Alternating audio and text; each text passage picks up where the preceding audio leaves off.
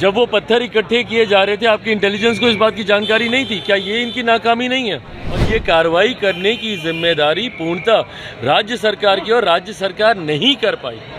इस घटना को नहीं रोक पाई ये नाकामी पूरी तरीके से राज्य सरकार जितनी हत्याएँ हो रही है वो कौन कर रहा है? जहरीली शराब के धंधे में भी क्या भाजपा के ही लोग हैं? बताइए ना कौन क्या कर रहा है। लॉ एंड ऑर्डर पूर्णतः राज्य सरकार का विषय है। राज्य सरकार के अंतर्गत आता है। आपको जिसकी भी द्वारा की गई ये साजिश लगती है, आप उसकी गिरफ्तारी करेंगे कि नहीं करेंगे? और आपका इंटेलिजेंस क्या करता है भैया? जब वो पत्थर इकट्ठे किए जा रहे थे, आपकी इंटेलिजेंस को इस बात की जानकारी नहीं थी? क्या ये इनकी नाकामी नहीं है? एक दूसरे के ऊपर पल्ला झाड़ देना और ये बोलना कि भाई ये इसकी साजिश, ये उसकी साजिश साजिश जिस किसी की भी हो। कार्रवाई होनी चाहिए। और ये कार्रवाई करने की ज़िम्मेदारी पूर्णतः राज्य सरकार की और राज्य सरकार नहीं कर पाई। इस घटना को नहीं रोक पाई ये नाकामी पूरी तरीके से राज्य सरकार गृह मंत्री को पत्र लिखा है जब बिहार शरीफ और सासाराम में जिस तरीके से हिंसा घटी है तो अमित शाह भी बिहार में ही थे बिहार दौरे पर थे।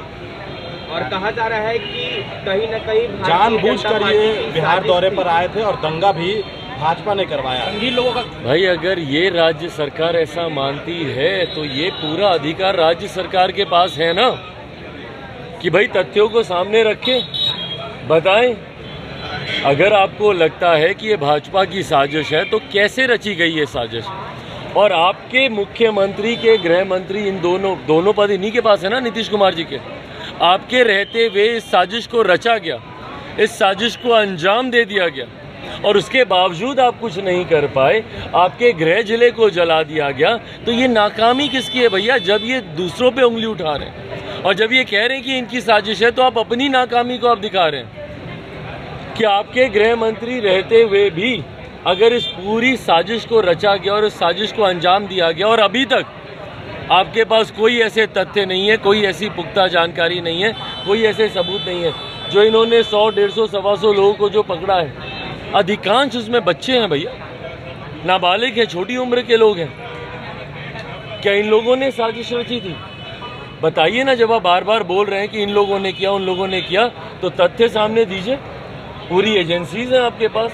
इंटेलिजेंस की सारी रिपोर्ट होगी आपके पास। सिर्फ़ मौखिक बोल देना और एक दूसरे के ऊपर आरोप, प्रत्यारोप की राजनीति करते रहना। तो जितनी हत्याएँ हो रही है, वो कौन कर रहा है? जहरीली शराब के धंधे में भी क्या भाजपा के ही लोग हैं? बताइए ना कौन क्या कर रहा है। सिर्फ़ एक दूसरे के ऊपर आरोप प्रत्यारोप करके अपना पल्ला झाड़ देने से राजनीति नहीं होने वाली। ये लो मुँह मीठा करो। आज मैंने अपना जॉब छोड़ दिया। अब हम पूर्णिया वापस जाएँगे। जॉब छोड़ दिया है? मतलब? ये घर कैसे चलेगा? हम करेंगे क्या? और माँ बाबूजी क्या बोलेंगे?